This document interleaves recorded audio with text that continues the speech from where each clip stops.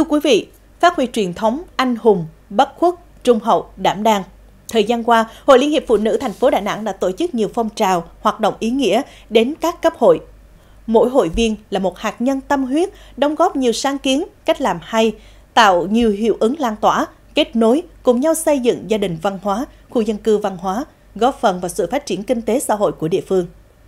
Phóng sự được thực hiện nhân kỷ niệm 92 năm ngày thành lập Hội Liên hiệp Phụ nữ Việt Nam và Ngày Phụ nữ Việt Nam 20 tháng 10.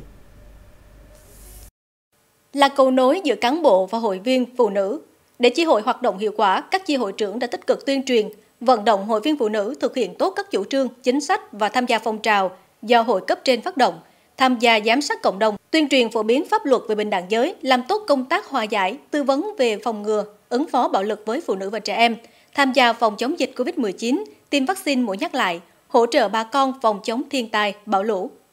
À, cũng rất là mong muốn là những hoạt động bình đẳng giới à, cũng rất là cần thiết những cái hoạt động dành cho à, sự tham gia của cả nữ cũng như nam. Bởi vì trong thời gian qua thì cái sự tham gia của nữ trong việc hưởng ứng thực hiện bình đẳng giới rất là nhiều tuy nhiên cái sự tham gia của nam giới vẫn còn rất là hạn chế.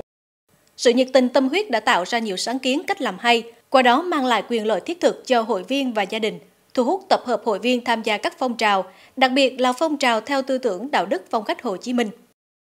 Vì đa số ở khu vực này là à, giải tỏa chị em mới về và một số chị em rất là khó khăn, cho nên với mình cũng thấy là à, mình nhận thấy rằng mình tham gia cái phong trào này thì à, trước tiên là cái tiên phong của mình phải đi trước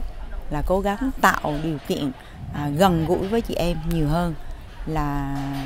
à, tạo được công ăn việc làm giúp đỡ chị em nhiều hơn thì sẽ gần gũi thu hút được cái số chị em hội viên à, tham gia hội công tác hội. À, thời gian vừa qua, phong trào phụ nữ thành phố Đà Nẵng đã đạt được những cái kết quả được cấp ủy đảng và đánh giá những cái hiệu quả, những đóng góp của phong trào phụ nữ trên tất cả các lĩnh vực.